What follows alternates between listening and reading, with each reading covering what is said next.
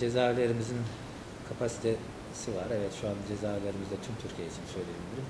Kapasitenin üzerinde hükümlü çok zaman olduğu oluyor ve cezaevlerindeki idareyi, güvenliği zorlaştırıyor. Ancak hiç kimsenin bu nedenle tutuklanmadığı düşüncesine ben katılmıyorum.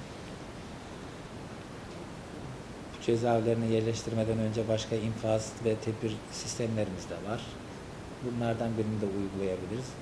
Türkiye'de ben kişisel düşünce olarak bölgesel cezaevlerin yapılması gerektiğini artık 50 kişilik, 100 kişilik, 200 kişilik cezaevlerinin terk edilip e, kampüs şeklinde cezaevlerin olması gerektiğini düşünüyorum. Burada hem güvenlik, hem rehabilitasyon, hem hükümlüye iş sağlama ve daha sonra topluma kazandırılmasında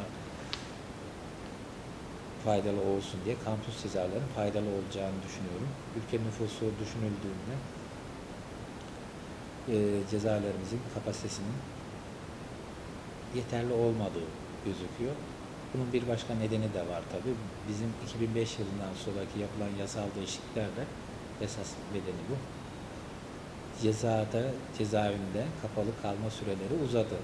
Bundan önceki sistemde yüzde 40 tüm cezanın yüzde 40'ını cezaevinde çekmekteyken şimdi en az yüzde 50'si yüzde 65'i 70'ini çekmek zorunda kalıyor. Cezaevinde kalma süreleri uzuyor. Yeni e, tutuklu ve hükümler onun üzerine ilave oluyor. Ayrıca yine Yargıtay'da yüksek mahkemede eskiden davalar çok çabuk sonuçlanmıyordu. Yargıtay'da yapılan iyileştirme, personel, hakim savcı takviyesinden sonra Yargıtay'da da dosyalar çok kısa sürede karara bağlanır hale geldiğinden kesinleşen cezalar oradan da artıyor.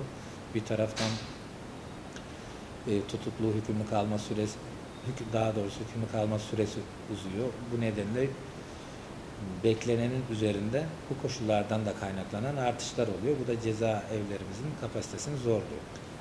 Bizim Bilecik'te cezaevleri açısından e, fazla o cezaevimiz var. Üç kapalı, üç açık cezaevimiz olduğundan biz kapasite sorunumuzu kendi içimizde çözebiliyoruz.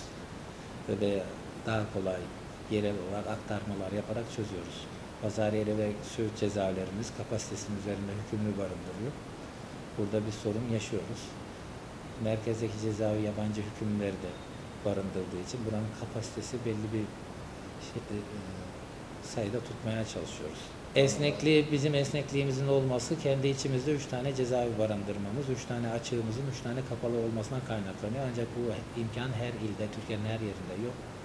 Bu nedenle e, genel yaşanan kapasite sorunu bizde yaşanmıyor. Evet, bizim hukukumuza yeni gelmiş bir kurum. Toplum tarafından çok tanınmıyor. Anglo-Sakson hukukunda çok yaygın uygulaması var. Bazen siz basında da yazıyorsunuz.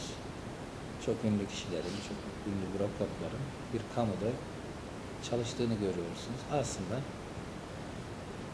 günümüz koşullarına uygun, insan onuruna uygun ve insanı bir yerde hapsetmek dışında onun birikiminden de faydalanmaya uygun bir sistem. Bizim de buna ilişkin Cumhuriyet Başsavcılığımıza bağlı büromuz var. Bu büro müdürlük şeklinde ve içerisinde birimleri var. Nasıl hizmet verdiğini bu nedenle biraz açmam lazım. Bir hükümlü denetimli serbestlik tedbirine tabi tutulduğunda biz bunu işlediği suç tipine göre bu büromuzdaki birimlere yönlendiriyoruz. Öncelikle burada psikolojik, sosyal yönden destek veriyoruz rehabilitasyonu için ve bunlara ayda bir bazen işte mahkemece belirleyecek belirlenen periyotlarla davet ediyoruz. Görüşmelerimizi yapıyoruz. Sonra bunları kamu kurumuna gönderdiğimizde bu kamu kurumundaki o işi yaparken kamu kurumunun yetkili amiri gelip gelmediğini denetliyor. Gelmediği zaman bize haber veriyor. Biz bu kez buna verdiğimiz bu cezayı kaldırıp cezaevine gönderiyoruz. Çünkü e, kapalı yerde yatmaktan daha uygun bir infaz şekli. Ayrıca bizim koruma infaz memurlarımız var, araçlarımız var. Belirli belirsiz zamanlarda o yerde çalışıp çalışmadığını denetliyoruz. Orada bulunmadığı vakit gerekli müeyyideyi uyguluyoruz. Bunun müeyyidesi de kapalıya geri iade etmek oluyor. Bununla görevli memurlarımız var. Araç gerecimiz var. Bir taraftan bu şekilde takip ediyoruz.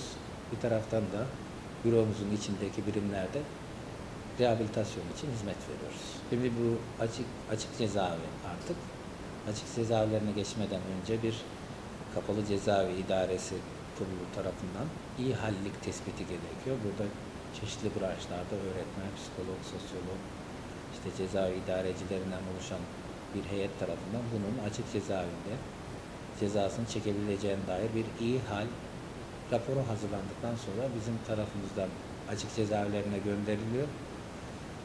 Yalnız burada koşulları var. Açık cezaevinin kuralları dahilinde kalmaları gerekiyor. İzin ya da diğer açılardan daha avantajlı bir infaz şekli. İzinde herhangi bir suç işlerse bu kez bu suçla ilgili ayrı bir soruşturma yaptığımız gibi disiplin nedeniyle de kapalı cezaevine geri iade ediyoruz. İzne gittiğinde bir suç işleyen hükümlü için en büyük yaptırım artık açık ceza hakkını yitirmiş olması oluyor.